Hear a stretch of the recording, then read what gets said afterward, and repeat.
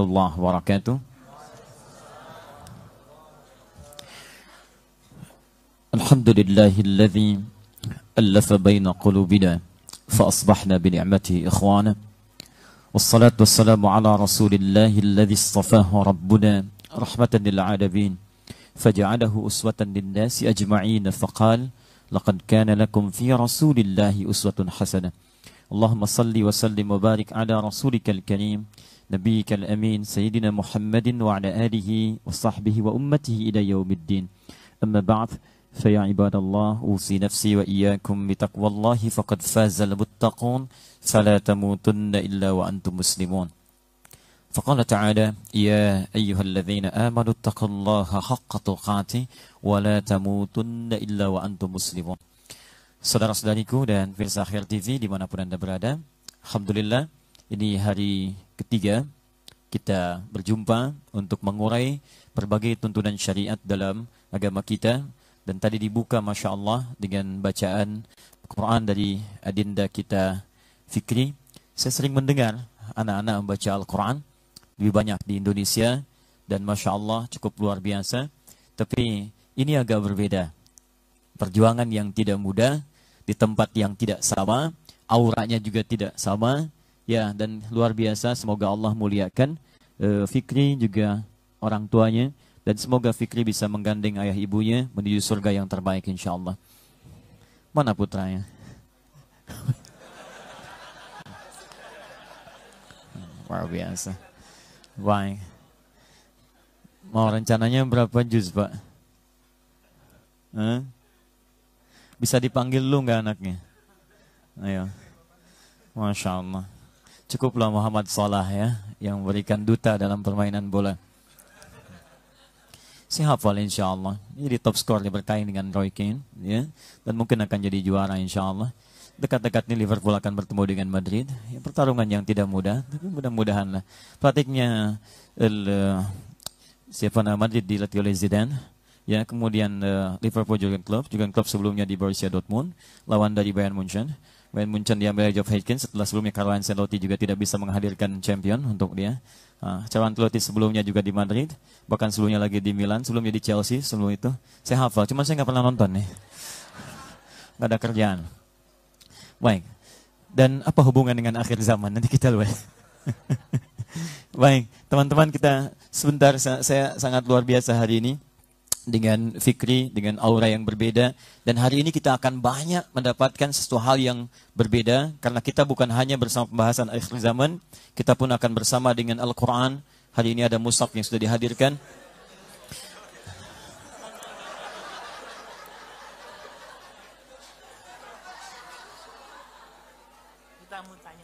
Ah. Fikri, Fikri mau jadi apa? Oh nggak tahu pak. Sama kayak Ubay. Ubay dari mana? Dari tadi. Baik, Fikri. Tadi sudah hafal An-Naba ya? Ya. Alhamdulillah. Fikri mau hafal 30 juz nggak? Ya. Iya. Fikri, ini segini loh Fikri. 30 juz. Insya Allah mau dihafal? Ya. Siap ya? Baik. Bapaknya hafal An-Naba? Oh baik ya. Fikri aja dulu. Fikri. Mas boleh minjem mic-nya mas? Maaf pinjam mic-nya. Yang pegang mic hafalan apa? Oh, Fikri boleh pinjam. Fikri kita bikin perjanjian. Buat perjanjian. Mau? Siap? Siap? Siap. Baik. Fikri menghafal Quran sampai selesai. Nanti kalau sudah selesai, kita berhaji. Siap ya? Baik, Mas saya kasih hadiah 2000 euro hari ini untuk persiapan hajinya, tapi hanya untuk hajinya Fikri. Jangan dipakai ongkos pulang. Juni mau pulang. Nanti setelah dia 30 juz, baru saya lengkapi. Ini saya sudah siapkan. Saya tidak ada rencana, cuman saya masukkan uang ke sini. Ya, dan saya titipkan lewat Fikri. Jangan dikasih ayah ya.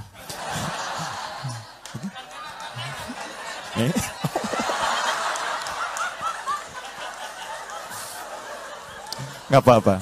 Baru an-naba. Jadi ha. nanti kalau sudah 30 juz pakai yang kanan insya Allah. Fikri ya. Coba pinjam. Tukar ke kiri. Nah, ambil yang kanan. Alhamdulillah. Ah. Mirip bapaknya.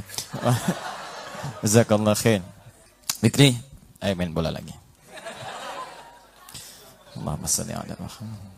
Tayyib.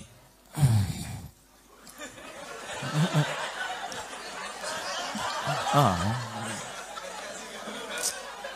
Pintar bapaknya. Jangan dikasih bapak, kasih ibu. Allahumma salli ala Muhammad. Baik. Hari ini kita mendapati materi yang telah teman-teman sampaikan tentang eh, bagaimana menjalani kehidupan di akhir zaman. Saya ingin membuat satu gambaran dulu supaya pembahasan kita itu dipahami dengan baik. Kita punya tahapan-tahapan yang utuh sehingga tidak menghasilkan kesimpulan yang melompat.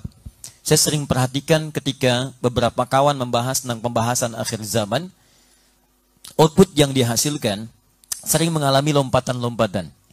Membahas akhir zaman tiba-tiba jadi takut beraktivitas, ke kantor kemudian juga sepi, ya. Kemudian setelah itu mic-nya jadi semakin tidak jelas. Baik. Oke, ini lebih jelas, Pak ya. Baik. Ah, ini mic akhir zaman. Baik. Dan karena itu yang jadi persoalan kemudian banyak orang mengurung diri. Bagus bermuhasabah, menitikan air mata, ingat dosa. Tapi kalau dengan semua itu kehidupan dunia tidak dijalani, ke kantor jadi ditinggalkan, sekolah jadi pada libur, ada yang memilih untuk tidak kuliah, maka kemudian kehidupan di dunia sebagai misi khalifah di bumi tidak berjalan kembali. Karena itu kita petakan dulu judul yang telah kita buat bersama, kemudian unsur-unsur atau anasir dari tema itu kita coba keluarkan, dari situ kemudian kita uraikan dan di pembahasan itulah kita akan temukan titik-titik yang menyambungkan pada pembahasan cukup komprehensif. Saya bagi pada tiga poin. Bagian pertama, kita akan coba uraikan kenapa pembahasan ini penting untuk diurai. Ya. Apa argumentasi atau alasan kita untuk membahas topik yang telah kita tetapkan? Dua, kita bahas dulu pengertian zaman dalam narasi Al-Quran dan Hadis. Kalau disebut zaman itu apa? Karena nanti bahasa Quran turunannya tidak langsung menyebutkan zaman. Ya, nanti ada asr, ada kemudian sah, di hadis Nabi nanti ditemukan kalimat zaman, nanti ada kata waktu, apa perbedaan empat istilah ini. Ya, setelah itu nanti kalau kita bicara zaman ini maksudnya. Kalau bicara sah ini maksudnya. Kenapa di hadis Al-Bukhari nomor hadis 989 disebutkan ya takarabuz zaman, bukan tatakarabuz sa'ah. Tapi kenapa di hadis Muslim nomor hadis yang ke-8 ketika malaikat Jibril turun bertanya mata sa'ah, bukan mata zaman. Kenapa ada yaumul qiyamah? Kenapa ada malik yaumiddin? Kenapa ada yaumul akhir? Apa perbedaan di antara istilah-istilah ini? Baik kemudian yang ketiga baru kita bahas tentang hal yang terkait berita-berita Nabi tentang kehidupan akhir zaman kalau sudah paham apa itu pengertian tentang zaman dan turunannya. Setelah itu poin yang keempat masuk pada bab yang keduanya adalah tentang bagaimana persiapan kita menghadapi tentang kehidupan akhir zaman yang dituntunkan oleh Nabi Sallallahu Alaihi Wasallam. Jadi kita harapkan bukan sekedar menjadi informasi yang naratif disampaikan, tapi kita punya bekal untuk menyikapinya. Di fase kita sekarang saat ini kita berada di hadis-hadis mana yang disebutkan Nabi. Bagaimana cara menjalaninya? Jangan-jangan yang paling yakin tentang ini justru bukan kita saat ini yang kita rasakan. Mungkin orang lain yang justru dalam hal keimanannya tidak sama dengan kita. Saya jalan-jalan ke Red House. Bukan untuk jalan-jalan semata, tapi ingin melihat apa yang ada di dalamnya. Ternyata begitu melihat dari kejauhan, oh sudah punya persiapan, luar biasa. Tadi kami dari uh, Uni Hamburg, ya kita ke sana, saya masuk ke dalam salah satu fakultas, di kampus yang bagiannya kita masuk divisi atau bagian e, orientalis, kita lihat juga tempatnya, gambarnya, bahkan visinya dan seterusnya. Saya pikir korelasinya luar biasa. Kalau tarik lebih jauh lagi, itu lebih hebat lagi. Nanti saya kisahkan bagaimana seorang Frederick Barbarossa, saya dilantik tahun 1152, yang patungnya kemudian dipajang di Red House. Teman-teman yang Hamburg mungkin sudah pernah ke sana. Anda begitu melihat tengah-tengahnya di atasnya kemudian ada dua patung. Sebelah kanannya Frederick Barbarossa, kemudian sebelah kirinya Charles the Great. Sebelah kanannya lagi di- diapit oleh sembilan patung, sebelah kirinya sembilan patung, sembilan tambah sembilan, delapan belas, tambah dua, dua puluh. Di atasnya ada patung Yesus, kanan kiri, di atasnya lagi ada seorang perempuan. Ke dalam masuk dua pintu, dua pintu, pintu pertama, pintu kedua. Sebelah pojoknya ada tujuh kemudian tokoh di atasnya yang kemudian menjadikan narasi-narasi rasi-rasi bintang yang jadi kemudian kepercayaan. Nah apa gambaran dari semua itu? Apakah sekedar gedung atau ada visi yang ditanamkan? Dan itu akan membentuk karakter masyarakat yang Anda akan temui dalam kehidupan Anda di Jerman khususnya. Halo? Itu kurang lebih begitu ya. Nanti kita akan lihat. Nah ini nanti kita cara kita ya menghadapi persoalan tantangan akhir zaman. Ini akan terkait erat nanti dengan aspek simulasi Al-Quran. Nanti kita tunjukkan bagaimana orang-orang di masa lalu mempersiapkan untuk masa depannya sampai kemudian jadi simbol yang mereka tanamkan bagi generasi setelahnya. Dan saripatinya itu mengambil dari sini. Kita lihat nanti perbedaannya. Saat orang Islam dihadirkan Quran seperti apa jadinya. Saat meninggalkan seperti apa akibatnya. Dan ketika ditinggalkan isi Qurannya, ternyata saripatinya diambil oleh orang lain dan dikembangkan dalam kehidupannya. Dan saya tidak suka kita mengutuk keberhasilan orang. Atau mengeluhkan ketidakmampuan diri sendiri. Yang ada, kita harus kemudian berubah jadi lebih baik. Dan kemudian bersaing dengan cara yang sehat dalam kehidupan. Dan mendakwahkan dari Islam dengan penuh keindahan dalam kehidupan. Siap insya Allah? Baik, kita mulai bahasan kita ya. Baik, Ahmad. Ah, ada Ahmad. Menghapus ya. Ada Ahmad. Sudah hafal insya Allah? Jawabannya? Sudah. Sudah dipersiapkan insya Allah. Baik, saya siapkan 100 euro ya. Baik. Kalau salah, gantian. Satu. Baik, bismillah. Maaf, saya mau tegaskan, saya datang ke sini bukan untuk minta apa-apa. Saya mencintai Anda. Kita keluarga. Saya datang supaya kita berbagi. Saya pun tidak ingin menuntut apa pun. Nanti uang tiketnya saya ganti, Mas, Mas Prio. Ya, saya ganti untuk tiga orang uang tiket. Saya tidak ingin ngambil apa pun dari sini. Saya ingin sesuatu kita bisa berbagi, kita memberi. Anda berjuang luar biasa. Anda yang dari Swedia, dari mana-mana, dan Anda berhak mendapatkan pengetahuan yang baik. Zolim saya kalau datang ke sini tidak memberikan hak Anda. Karena itu saya sangat senang kita bisa berkumpul dan yang terbaik mari kita sama-sama belajar untuk meningkatkan keislaman kita dengan lebih baik insya Allah. Tidak cukup dengan amin, kita mulai dulu. Satu, kenapa kita belajar tentang tema ini? Satu Quran surah kedua ayat yang ketiga. Kemudian yang kedua ditafsir di hadis Nabi riwayat Muslim. Nomor hadis yang ke-8 jilid yang pertama. Disebutkan di Al-Arba'in juga nomor hadis yang kedua. Kemudian yang ketiga, ada turunan ini untuk kita dapatkan di Quran surah 59 ayat 18. Paling kiri sebelah atas. Setelah ini dapatkan, nanti kita ambil ini, yang pengertiannya, saya turunkan ke sini, supaya agak berbeda. Kita ambil satu, Quran surah ke-103. Kita ambil istilah dulu. Dua, Quran surah ke-31 ayat 34. Kemudian situasinya di Quran surah 75, kita ambil ayat pertama.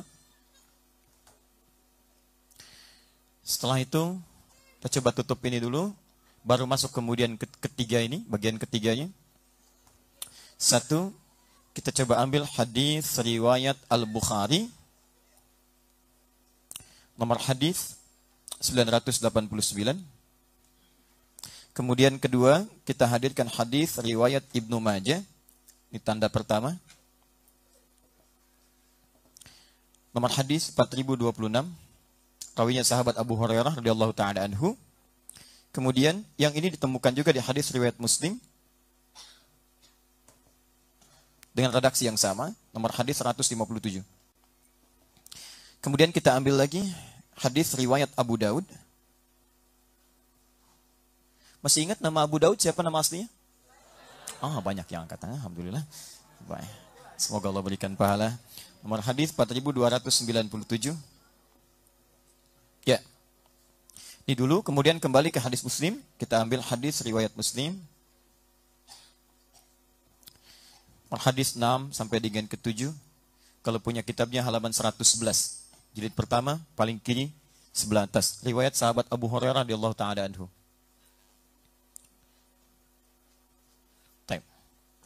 Ini dulu saya kira. Nanti untuk bahasan yang ini kita selesaikan ini dulu. Ini pun kurang lebih ada dua jam bisa kita ulas. Nanti baru kita pindah ke sini. Kita sampai jam berapa insya Allah? Setengah dua ya untuk sesi pertama. Baik, setelah itu kita sambungkan kembali. Kita mulai bagian pertama dulu. Apa argumentasi yang bisa disampaikan untuk pembahasan kita pada kesempatan kali ini? Kenapa kita mesti belajar tentang hadis-hadis atau berita-berita kehidupan akhir zaman? Pertama Quran surah ke dua Al-Baqarah ayat yang ketiga paling kiri pertengahan. Alladzina yu'minuna bil ghaib wa yuqimuna salat. Baik, ada disebutkan di Quran ciri orang takwa itu, ciri pertamanya adalah dia beriman, yakin pada sesuatu yang gaib.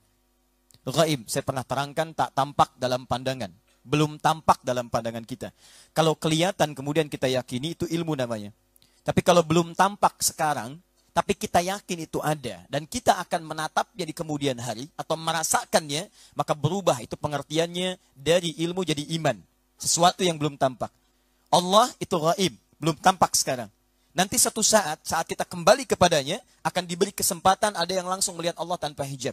Di Quran surat 75, ayat 22 sampai 23.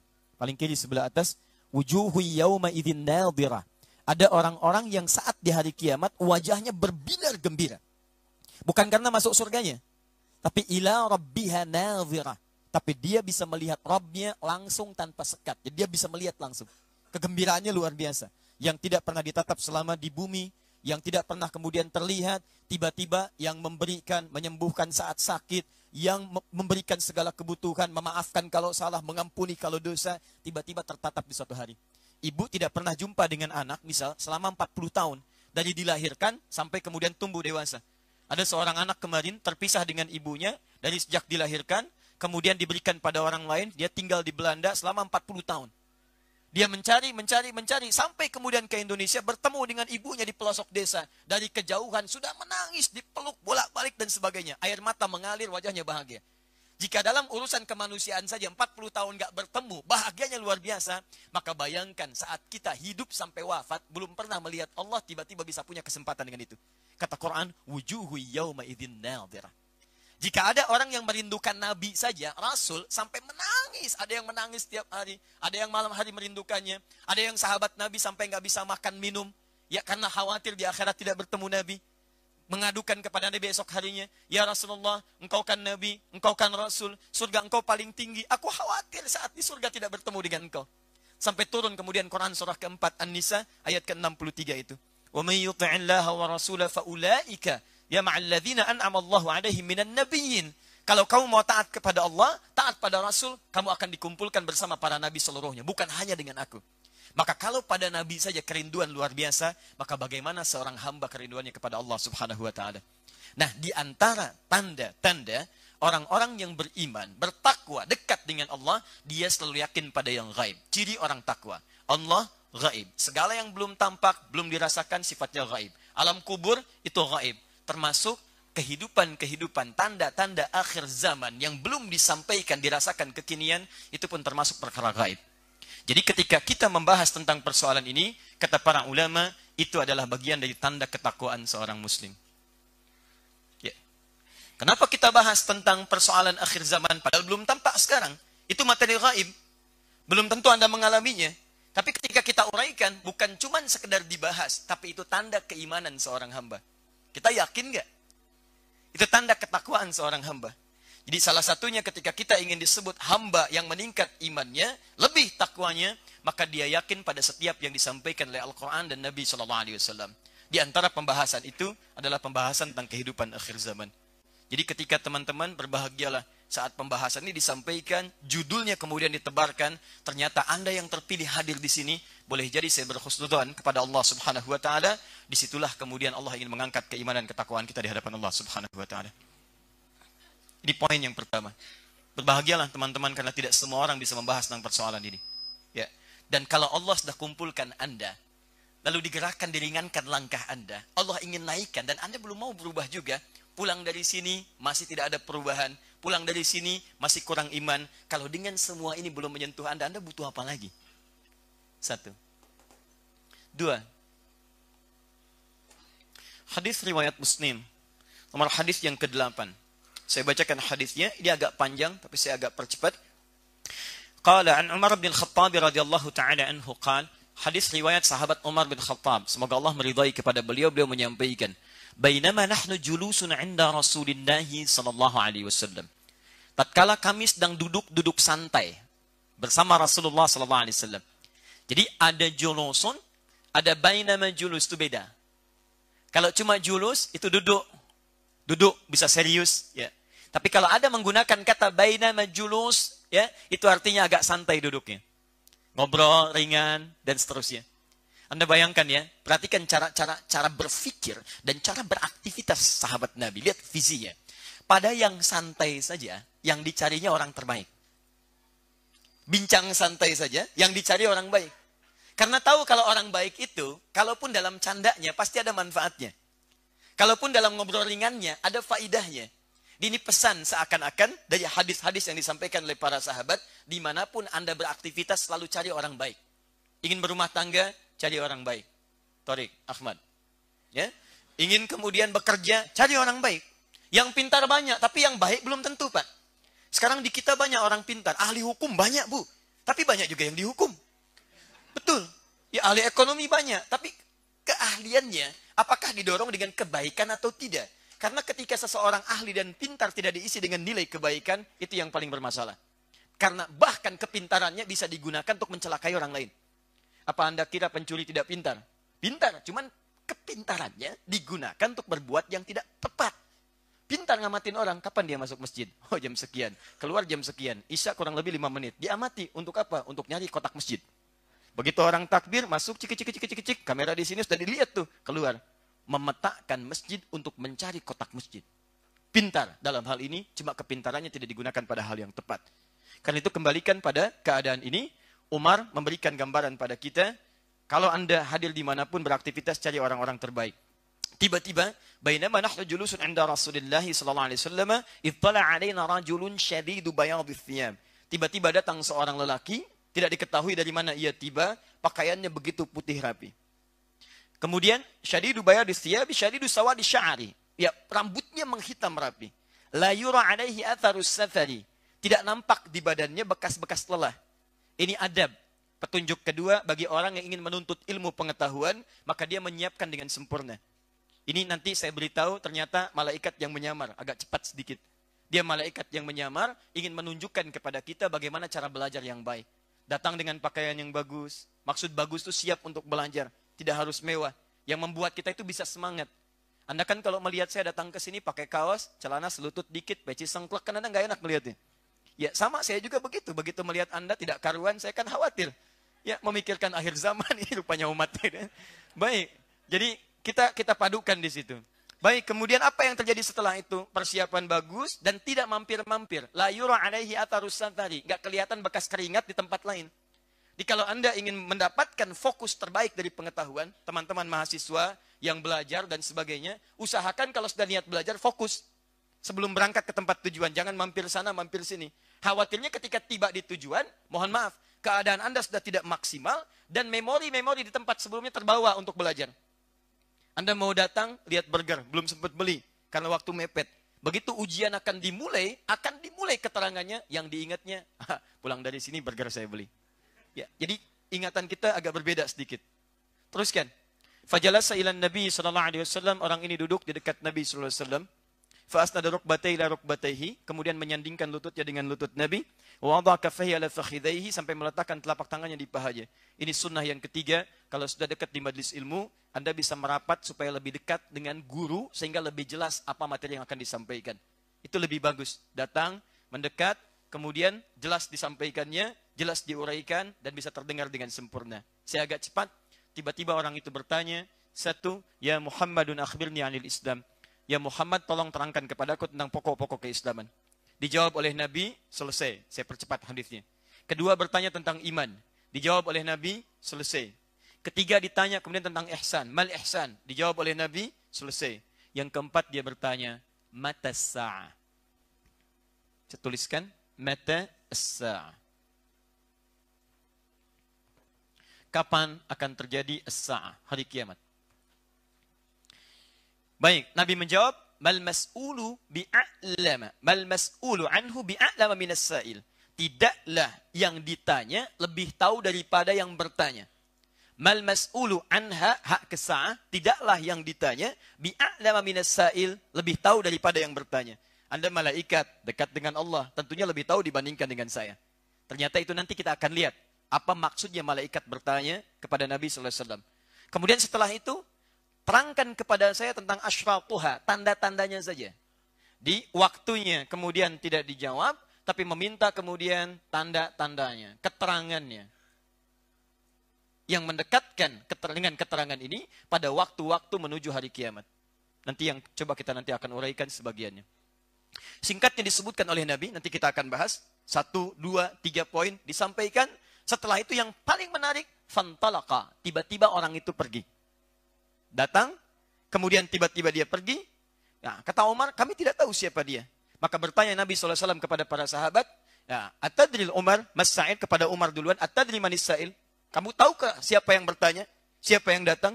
Kata Umar, Allah wa Rasulullah a'lam. Allah dan Rasul yang lebih tahu. Sahabat dekat dengan Nabi, hidup dengan Nabi, mertua Nabi, wafatnya dikubur di samping Nabi. Ketika ditanya tidak tahu jawabannya, Wallahu a'lam.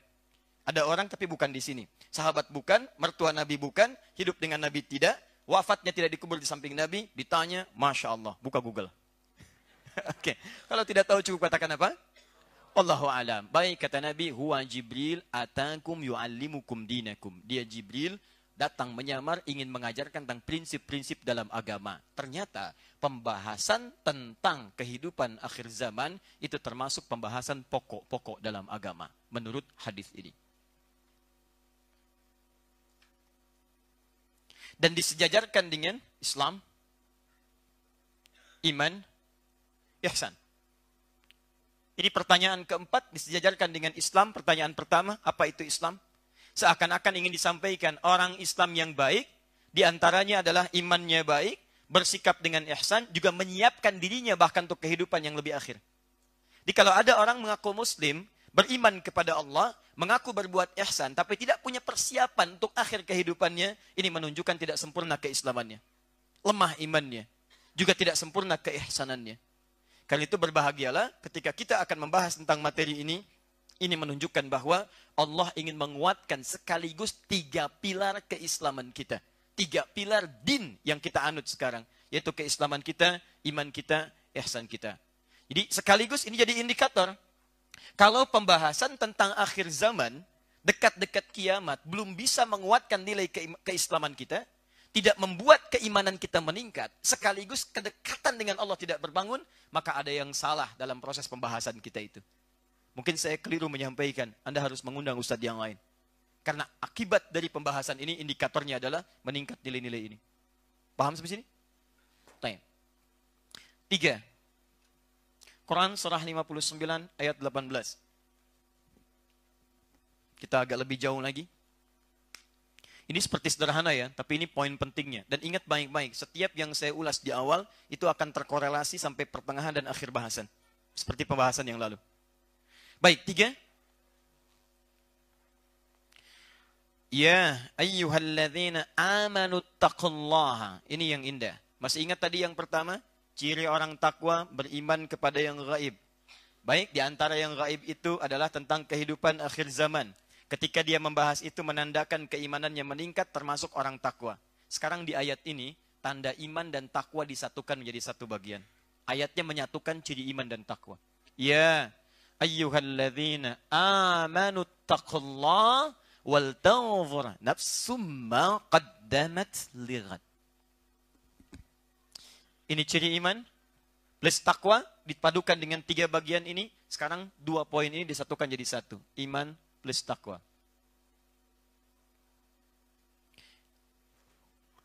Hei orang-orang yang menyatakan dirinya beriman kepada Allah, terus tingkatkan takwamu. Perhatikan baik-baik. Ayat ini mengatakan tingkatkan takwamu. Di Al-Baqarah ayat ketiga cara meningkatkan takwa, tingkatkan keimanan.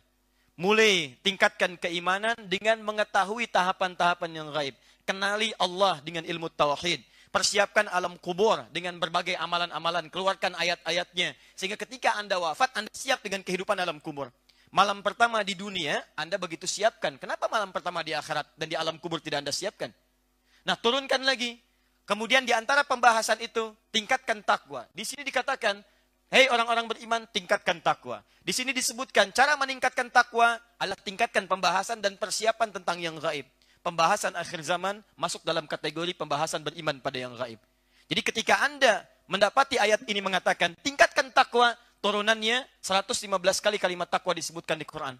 Di antara turunannya membahas tentang materi kita ini.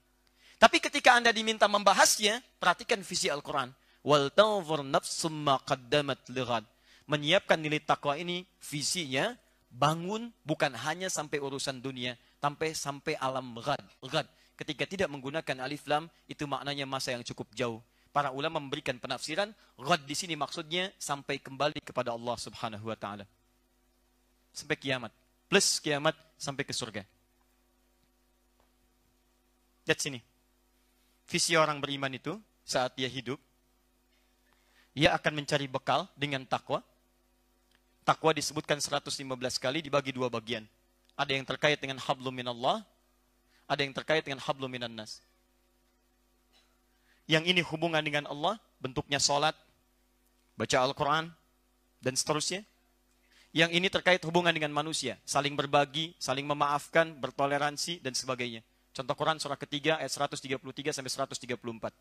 Baik, kalau kita padukan ini perjalanan kita mewujudkan takwa, itu pasti akan melewati masa-masa sampai kita kembali kepada Allah. Nah, orang beriman yang bagus itu ketika dia menerapkan takwa, bukan cuma dia siapkan untuk kehidupan dia di dunia. Tapi dia siapkan visinya sampai ke alam kuburnya, sampai kiamatnya, sampai dengan mendapatkan surga yang ia harapkan. Lihat baik-baik.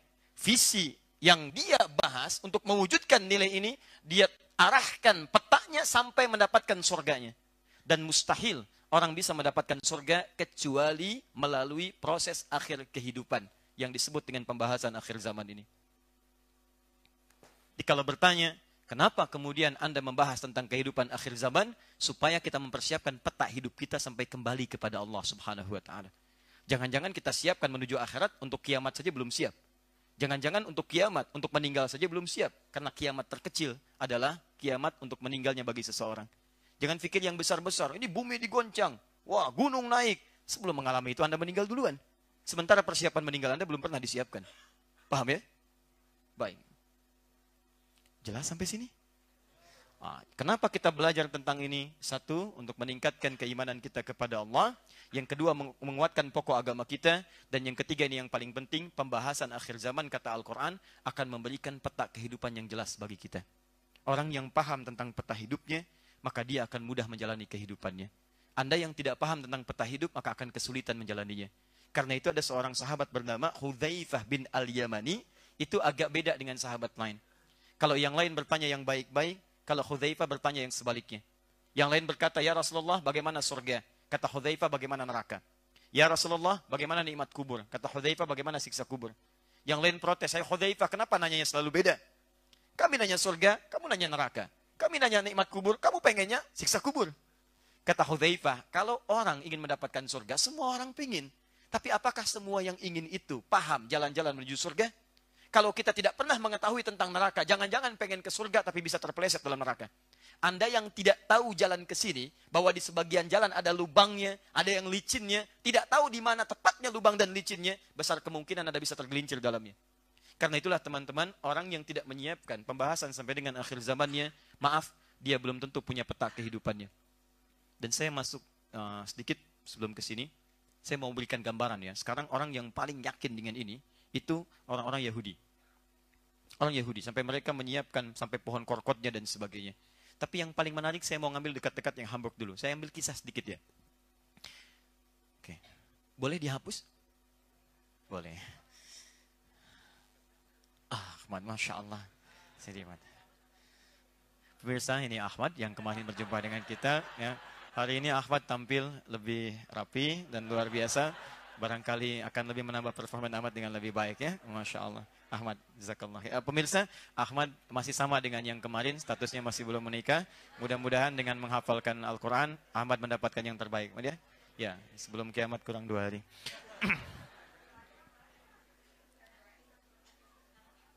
Baik. Ya. Jazakallah khair. Menghapus demi 100 euro.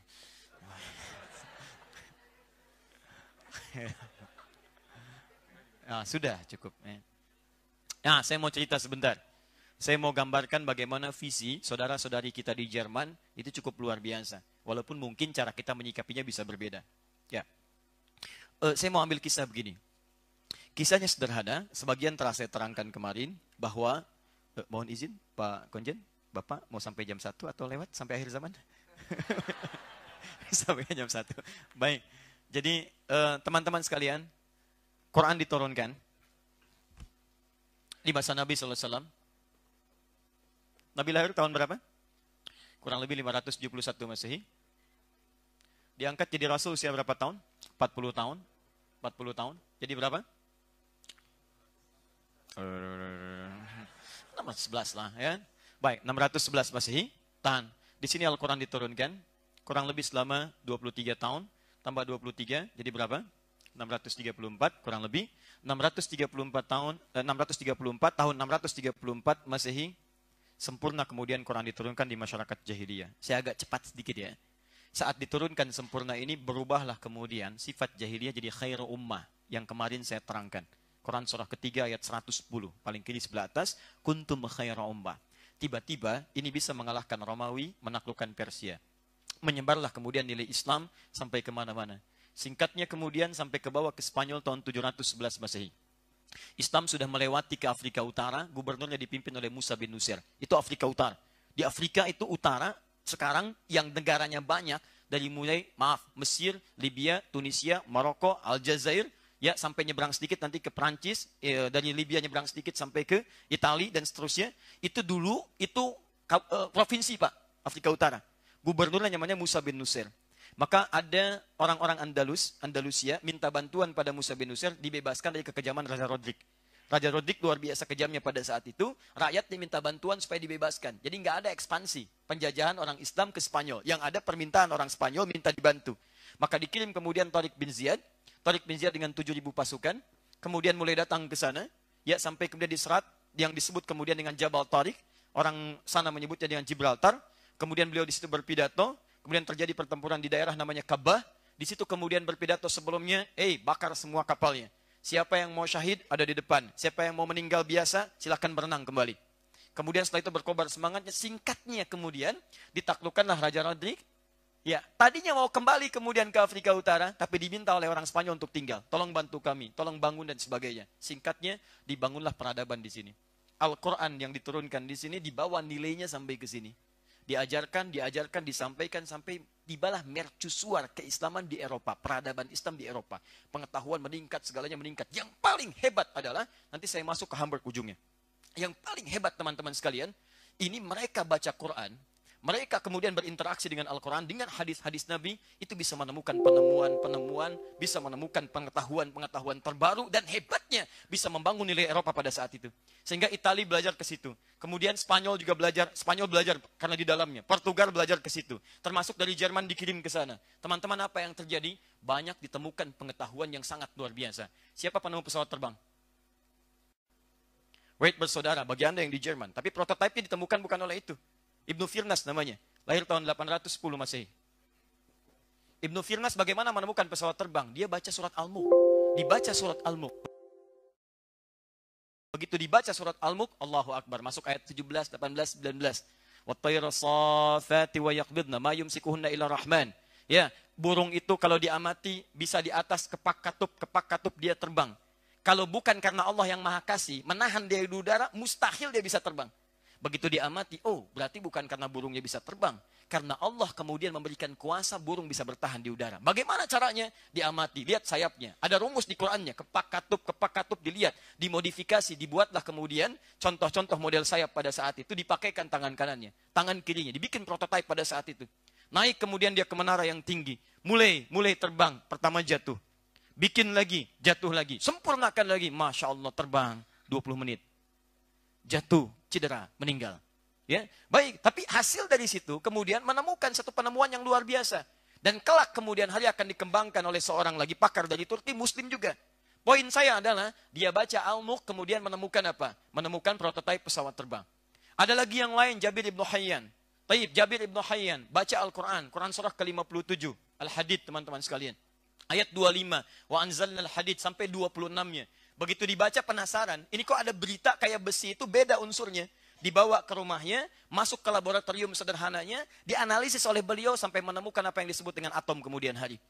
Dan hebatnya sampai sekarang tanda untuk atom sama persis dengan bilangan-bilangan Qurannya. Bukankah nomor atom besi ferum, Fe, F besar, E kecil adalah nomor 26? Ya kan? Ferum nomor 26. Bukankah 26 ini punya 4 isotop? Isotop 55, 56, 57, 58 untuk menjaga keseimbangan atomnya. Mana yang paling stabil? 57. 57. Surah ke-57 ayat ke-26. Sampai hari ini. Diteruskan sampai ketemu John Dalton dikembang. Anda harusnya lebih hebat daripada saya tentang masalah itu. Ya, ini poinnya teman-teman sekalian. Ada di sini. Yang hebat lagi, kembangkan lagi. Ibnu Sina. Anda kenal Ibnu Sina? Oh, yuk kenal. Kenal di mana? Luar biasa. Avicenna. Baca Quran, dikembangkan interaksi dengan Quran. Apa yang terjadi? Ketemu lagi pembahasan-pembahasan. Buat kedokteran, Kapitas Lekta yang dikenal dengan Al-Qanun Fitib, tentang masalah fisik. Ashifa, tentang metafisiknya. Tapi yang paling hebat, kitabnya Al-Basair, meneliti malaikat ketika membaca surah Al-Ma'arij. Dipadukan dengan surah 32 saja ayat yang kelima. Menganalisis malaikat bolak-balik seharinya seribu tahun. Bolak-balik malaikat diciptakan dari cahaya. Dianalisis cahaya bolak-balik, dihitung pecahan desimalnya. Ditemukan penelitiannya oleh Einstein di kemudian hari. Dikenal dengan teori I sama dengan MC kuadrat. Banyak dibahas, dibahas, dibahas, dibahas. Hebat lagi. Bahkan penelitian jahiliyah tentang teori irama pada saat itu. Rumusnya 16, dikenal dengan Bahar. 16 rumus. Dulu dikenal dengan rumus syair. Ilmunya ilmu arud, ke kekinian. Ada tawil, ada rajas, ada madid. Tawilun lahudun al-buhuri fadailu. Fa'ulun mafa'ilun, fa'ulun mafa'ilun. Rajas mustaf'ilun, mustaf'ilun, mustaf'ilun. Mustaf'ilun, mustaf'ilun, mustaf'ilun. Madid mufa'alatun, mufa'alatun, fa'ilatun. Mufa'alatun, mufa'alatun, fa'ilatun. Masuk masa Islam dianalisis berubah teman-teman. Jadi cabang pengetahuan. Ini berubah jadi nazam. Nazam ini digunakan yang tadinya ini untuk musik, digunakan untuk menambah nilai pengetahuan. Masuklah alfiah. Cara merumuskan rumus-rumus syair, tapi untuk menguasai teori bahasa Arab. Seribu dua bait. Muncul kemudian alfiah Ibnu Malik. Kalamun lafdun mufidun kastaqim, wasmun mufidun thumma harfunil kalim, wahiduhu qawlu am, wal kimatun biha kalamun qad yu'am, bil jari wat tanwini wan nida wa al, musalin ismi tamidun hasal, bitafa'alti atat wa ya'if anli wa nunik balanna fi'lun jali. Masuk ada teorinya alfiah, hadisnya as-suyuti. Ada alfiahnya untuk di ilmu qiraat, semua keilmuan. Yang hebat, orang-orang barat datang belajar ke situ, selesai dari situ dibawalah kemudian pengetahuan itu keluar. Diterangkan lagi. Tapi sayang, mohon maaf, orang-orang Islam pada saat itu sudah bertahan hebat luar biasa, tapi di awal abad ke-12 mereka lupa. Terjadilah apa yang disiratkan Nabi oleh tanda-tanda kehidupan akhir zaman. Nanti hadisnya kita sebutkan, ketika berlaku itu, Qurannya ditinggalkan, hadisnya dijauhi, kehidupan ini mulai terjadi, prediksi Nabi yang telah disampaikan sebelumnya, ini tidak dijaga dengan kuat. Mereka tidak belajar itu sehingga lalai dengan itu semua. Terjadilah kemudian saling perebutan takhta, bersatulah kemudian Ferdinand dan Isabella, dan kemudian hilanglah kekuasaan itu. Bahkan sebelumnya terjadilah perang salib di awal tahun 1095 sampai seterusnya, sampai menghasilkan seorang Raja Agung di tahun 800 persiapannya dikenal dengan Charles the Great. Charles the Great kemudian dibayat, ya pada saat itu, dia kemudian menjadi Bapak Eropa, Bapak Eropa dikembangkan sampai muncullah menyebar tahun 1152 dinobatkanlah seorang bernama Fredrik Barbarossa untuk dinobatkan sebagai raja di bagian Eropa dan kemudian ditahbiskan uh, oleh Adrianus yang keempat di Aachen, kemudian diberikan mahkota sampailah dia di Hamburg dan jadilah kemudian dipajang sebagai bapak Jerman masuk di uh, Red House pada saat ini, sebelah kanan posisinya. Tahun 1155 dia datang ke Italia, datang ke Italia meluaskan wilayahnya untuk ekspansi dan dikenal dengan si janggut merah. Luar biasa dan berjanggut pada saat itu nggak ada masalah. Gak ada hubungan dengan teroris dan sebagainya. Itu ya. Bapak Jerman itu berjanggut. Ya, dan sekarang banyak yang berjanggut gak ada masalah. Lionel Messi berjanggut. Dan ketika dia berjanggut, banyak memasukkan golnya. Luar biasa ya. Jadi rupanya janggut berkorelasi dengan peningkatan kejeniusan mencetak gol. Sergio Ramos berjanggut. Sejak dia berjanggut, semakin pede dia mentekel orang lain. Ya, Muhammad Salah berjanggut. Gak ada masalah gitu ya. Halo. ah ini kembali. Nah, maksud saya, ketika ini selesai, terjadi tahun perjanjian Tordesillas tahun 1492, dibagi dunia pada dua bagian oleh Paus Alexander yang keenam, ya, kemudian Portugal dia mendapatkan bagian timur, Spanyol bagian barat, penyebar keduanya. Saat menyebar itulah teman-teman sekalian, fokus kepada tiga bagian utama. Mereka mengekspansi untuk mendapatkan glory kemenangan. Mereka kemudian mencari suatu hal untuk didapatkan gold, emas, rempah-rempah dan sebagainya dan terakhir menyebarkan misi. Ditebarkanlah kemudian misi yang baru, menyebar kemudian berjauhan dan terakhir bagaimana caranya umat Islam itu tidak bangkit kembali dengan kembali kepada nilai-nilai Qurannya. Akhirnya dibuatlah sebuah divisi khusus dinamakan dengan orientalis. Orientalis ini membuat kampus-kampus dari orang-orang yang pernah belajar sebelumnya kepada masa Islam. Ditempatkanlah di daerah-daerah sekutu itu. Ada yang kemudian di Paris, ada yang di Jerman, ada yang kemudian di Italia, ada sebagian tempat. Sampai menyebar kemudian sekarang ada di Rusia, di Amerika, di Belanda, dan seterusnya. Anda tahu apa yang terjadi? Itu dimintakan supaya ini tetap maju, yang ini kemudian untuk menenggelamkan umat Islam sehingga dia tidak sadar kembali dengan nilai-nilai Al-Quran yang telah diajarkan termasuk akhir kehidupan akhir zaman. Dan saat Anda masuk ke Red House itu, Anda akan melihat 20 patung terdiri dari koalisi yang pernah menampilkan nilai sejarah ini. Di situlah kemudian Anda bisa melihat bagaimana pasukan yang dipimpin oleh tadi, Barbarosanya, samping kanannya Anda melihat misinya, samping ke sananya lagi Anda melihat orientalisnya. Dari situ kemudian dibuat kampus-kampus termasuk Uni Hamburg dan sebagainya dengan bagian dari turunan-turunan fakultasnya. Maka jangan heran kalau Anda di Eropa menemukan orientalis. Kalau pemikirannya masuk ke situ, kalau ada misi yang sangat kuat itu tidak ada masalah. Kita jangan mengeluhkan dan mencela itu karena memang itu yang mereka telah lakukan dan mereka telah rencanakan. Persoalannya adalah jangan Anda kutuk hal semacam itu. Yang kita harus lakukan menampilkan nilai Islam yang terbaik kekinian. Pelajari lagi, pelajari lagi, pelajari lagi. Karena berita baiknya adalah sebagian bahkan warga sendiri tidak memahami tentang peristiwa itu. Sekarang orang sudah nggak peduli. Ya, dan saatnya kita menampilkan wajah Islam yang terbaik. Di saya tidak menginginkan ada orang berkelahi satu dengan yang lainnya, singgung masa ini, singgung masa tidak. Sekarang saatnya kita belajar kembali tentang bagaimana menata hidup lebih baik. Dan kita hadirkan nilai keislaman. Beda, ternyata Islam tidak kasar. Ternyata Islam bukan tampil dengan pedang dan sebagainya. Tampilkan wajah Islam yang terbaik, yang dengan itu insya Allah, Islam lebih bisa diterima bahkan meluas di Eropa. Siap insya Allah? Ya, dan hari ini saya menatap teman-teman untuk mewujudkan cita-cita itu, salah satunya dengan mempelajari tentang pembahasan kita saat ini. Tapi saya mau titipkan satu pesan, Ketika mereka mendapatkan ini semua, inilah yang dijadikan tolak ukur pengetahuan di masa kini. Termasuk masih ingat tadi?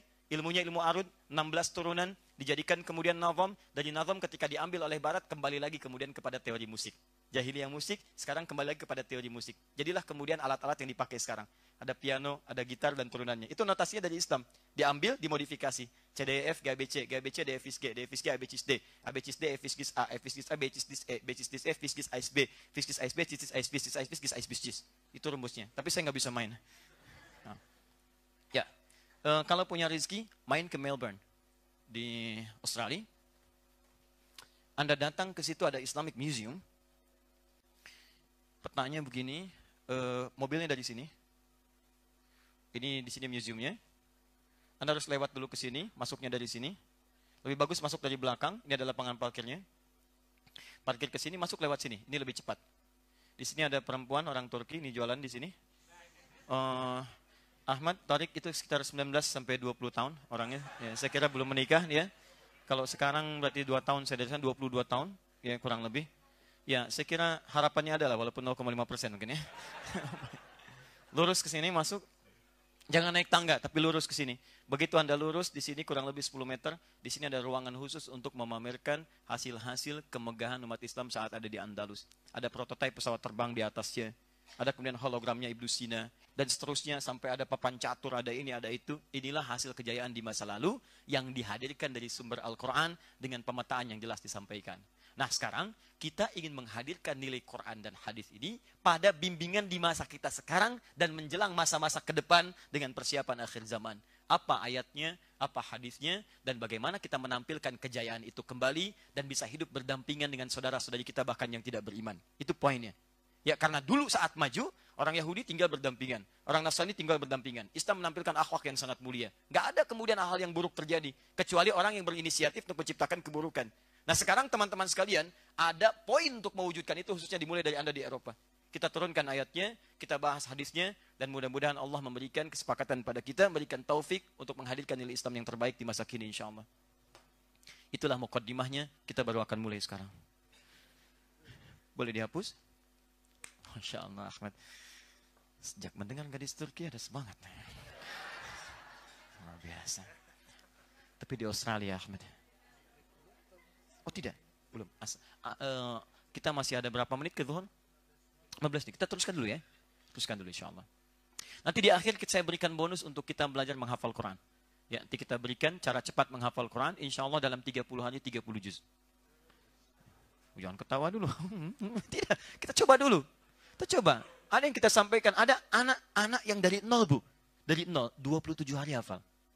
Ada yang 25 hari. Dan seterusnya. Nanti kita akan coba lihat. Nanti saya tunjukkan pada Anda, kita itu orang hebat sebetulnya. Nanti saya tunjukkan bagaimana kurang dari 5 menit kita bisa hafal 5 ayat dengan nomornya, dengan halamannya, dengan posisinya dan sebagainya. Baik, kita mulai ya. Bismillah. Kita mulai dengan bagian ini dulu, pengertian. Kehidupan akhir zaman. Apa itu zaman? Dalam bahasa Arab, waktu dibagi tiga bagian. Waktu, waktu itu dari bahasa Arab, al-waqt. Satu, dua, tiga. Ada yang disebut dengan pertama az-zaman, saya turunkan dulu. Ini kalau mau panjang ininya, kalau mau dipendekin jadi pendek az-zaman bisa begini. Kemudian yang kedua ada al-asr. Yang ketiga ada as-sa'ah. As-sa'ah, sa'atun, sa'ah.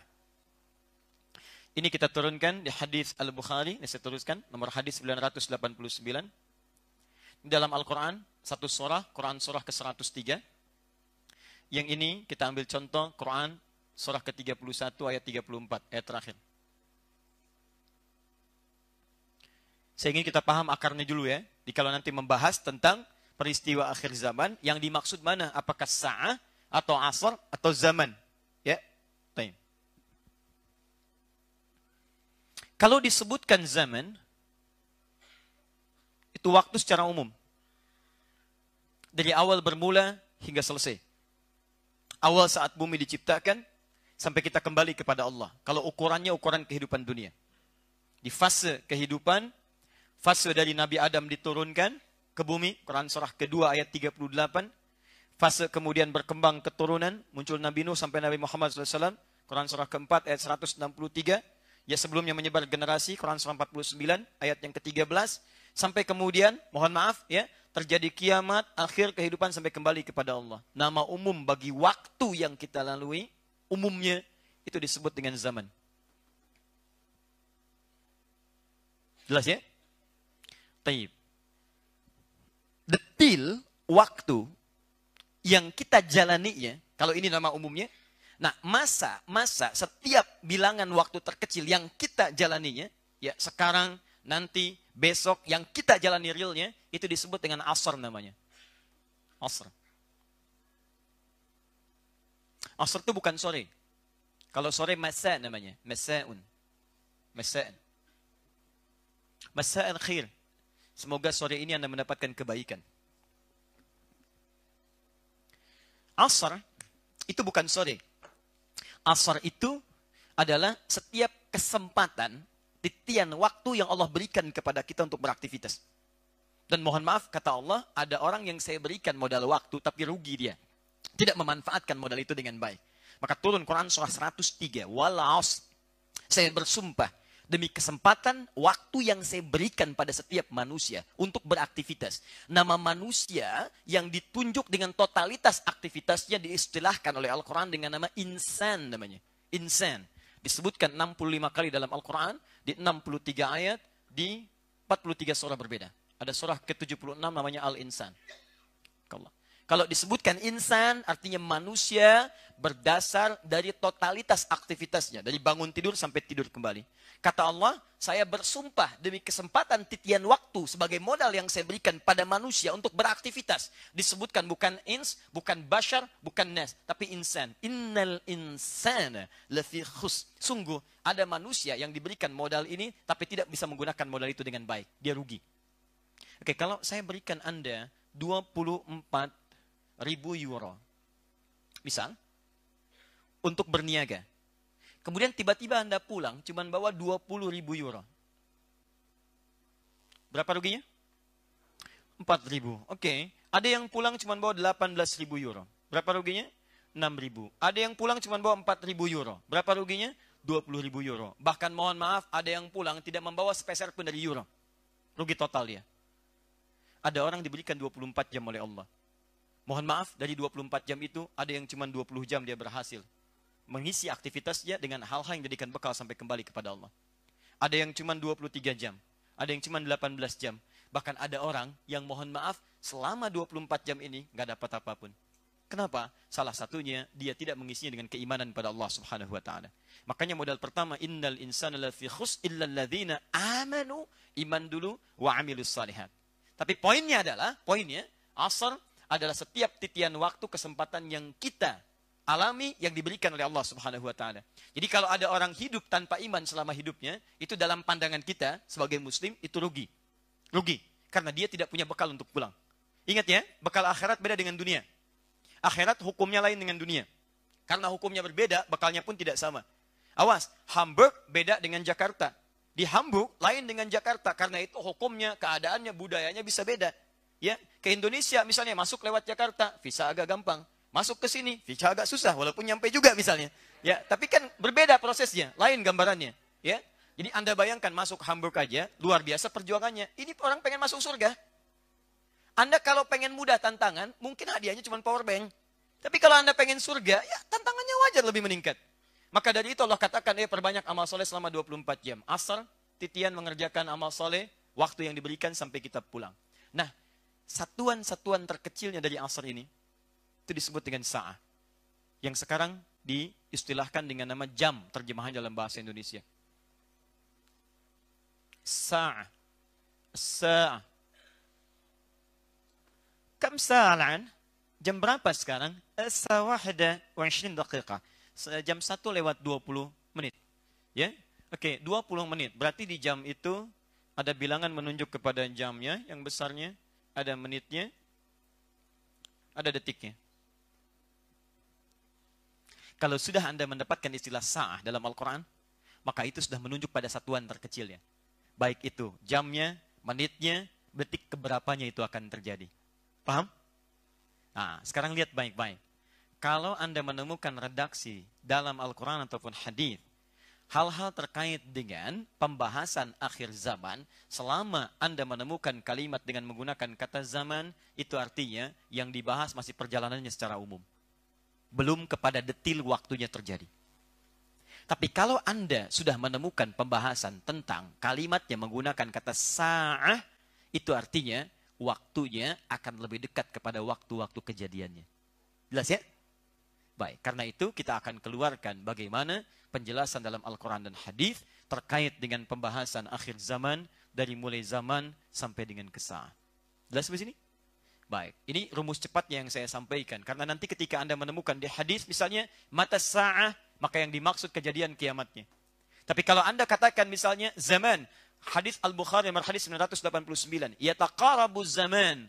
Waktu sudah mulai saling berdekatan. Ini belum datang kiamatnya. Tapi Nabi menggambarkan nanti akan terjadi zaman semakin dekat, dekat, dekat ke akhir kehidupan.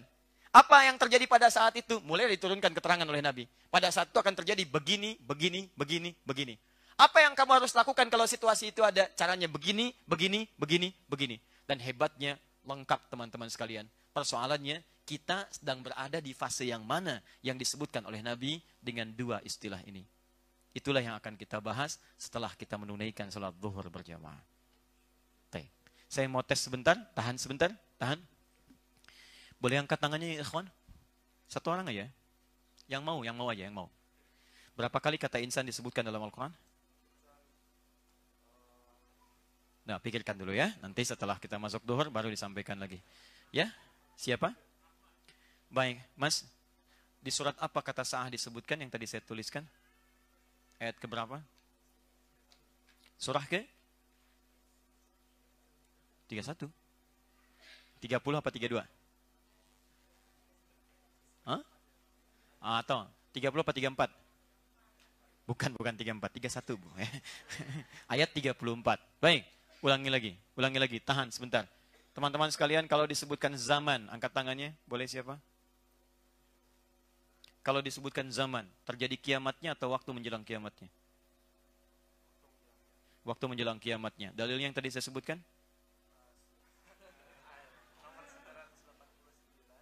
Hadis riwayat? Abu Dawud ya. Al-Bukhari ya. Baik. Buat antum insyaallah. Jazakallah khair. Baik, terakhir teman-teman sekalian, sebentar, Ahmad bangun. Boleh pinjam mic-nya? 5 menit untuk Ahmad. Ahmad punya utang. Apa perbedaan Ahmad dengan Muhammad?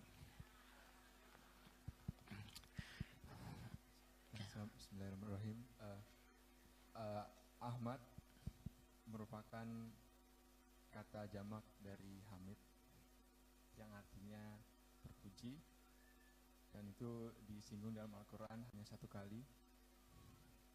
Saya ulang lagi, em, kata Ahmad itu merupakan kata jamak dari Hamid yang artinya terpuji yang disinggung dalam Al-Quran satu kali yang berkaitan tentang Nabi Isa Di surat apa? Surat 60 em, saya hafal sedikit saya 63 atau 64? 62 Sa. 62, 63, bukan 61. Baik, ayat keempat atau kelima? Hah? Em, insya Allah tiga saat Bukan ayat ke-6. Baik.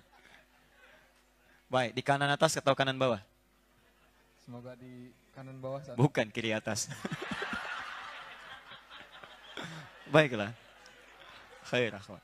Ahmad, baik. Ahmad itu bukan bentuk bentuk jama tapi superlatif. Superlatif siga mubalaghah dari kata Hamid. Kalau jamaknya Hamidun, oke? Tapi superlatifnya Ahmad. Ahmad, apa artinya Ahmad? Dari kata Hamid artinya orang yang punya ketaatan kepada Allah. Hubungan vertikal. Rajin, walaupun ahli surga, tapi rajin misalnya tahajud.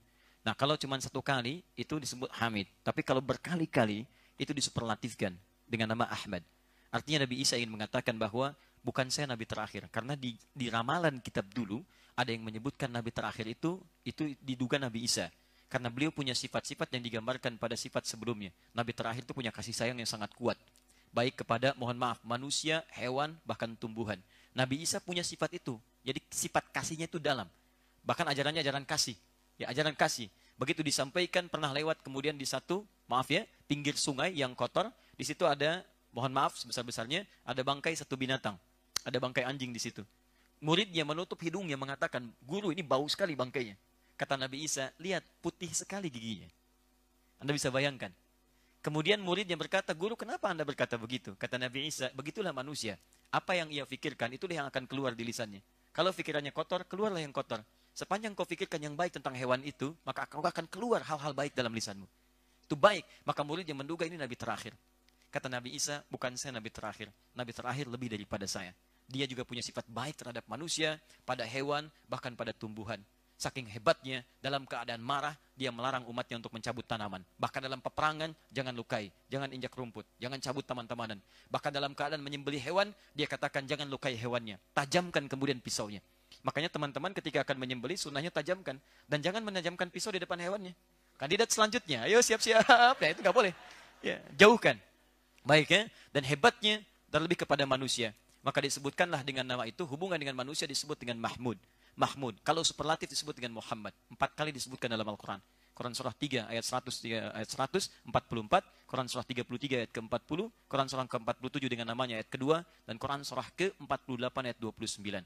Maka disebutlah dengan nama Ahmad untuk mengatakan ini beda dari saya. Ini lebih walaupun baik dengan manusia tapi tidak menghalangi hubungannya dengan Allah yang sangat luar biasa yang tidak dikerjakan oleh Rasulullah sebelumnya. Maka beliau disebutkan dalam hadis riwayat Al-Bukhari dan hadis 2010 itu bisa sampai tahajud sampai kakinya bengkak dan itu rakaat pertama.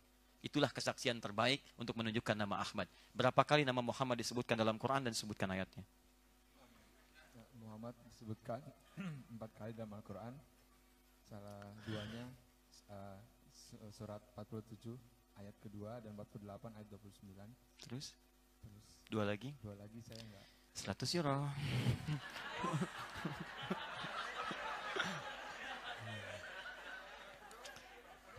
Seratus euro. Lumayan buat mahar. Baru dua.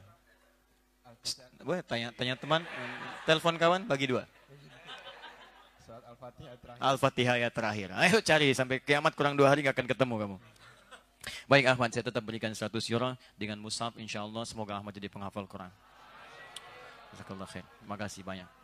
Kita jeda sebentar teman-teman, tunaikan salat zuhur dulu dan dengan itu mudah-mudahan Allah berkahi kajian kita insyaallah.